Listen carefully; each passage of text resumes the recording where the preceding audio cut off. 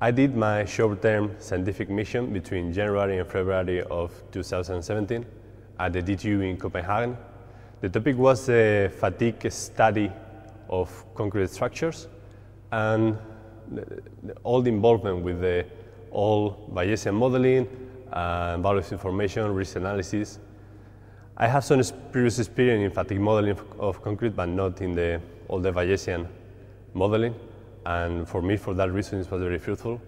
The group is very competitive, very dynamic, and for sure, it has, is going to open very new ways for me for my future research.